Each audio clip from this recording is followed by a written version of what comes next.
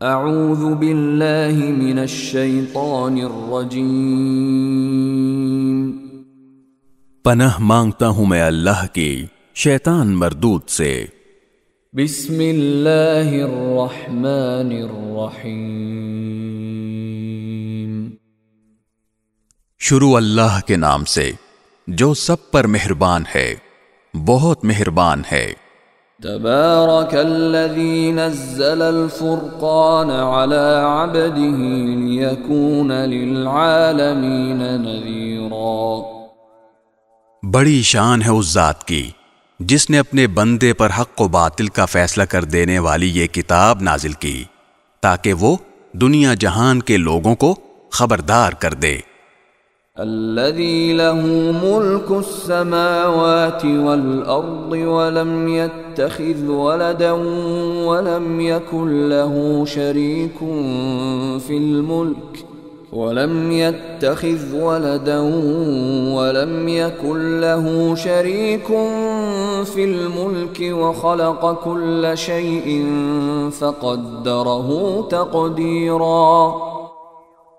وہ ذات جو آسمانوں اور زمین کی بادشاہت کی تنہا مالک ہے اور جس نے نہ تو کوئی بیٹا بنایا ہے اور نہ اس کی بادشاہت میں کوئی شریک ہے۔ اور جس نے ہر چیز کو پیدا کر کے اس کو ایک نپا تلا انداز عطا کیا ہے۔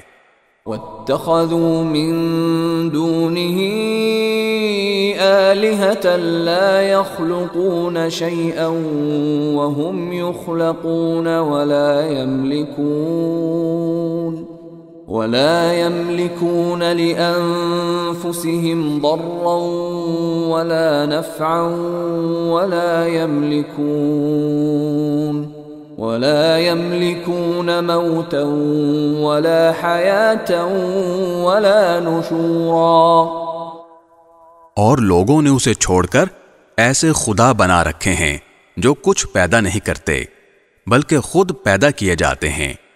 اور جن کا خود اپنے نقصان یا فائدے پر بھی کوئی بس نہیں چلتا اور نہ کسی کا مرنا یا جینا ان کے اختیار میں ہے، نہ کسی کو دوبارہ زندہ کرنا۔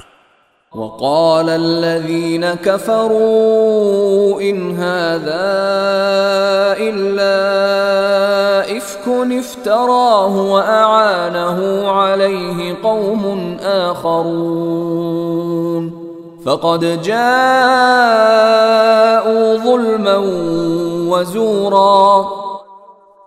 اور جن لوگوں نے کفر اپنا لیا ہے، وہ کہتے ہیں کہ یہ قرآن تو کچھ بھی نہیں، بس ایک من گھڑت چیز ہے، جو اس شخص نے گھڑ لی ہے اور اس کام میں کچھ اور لوگ بھی اس کے مددگار بنے ہیں۔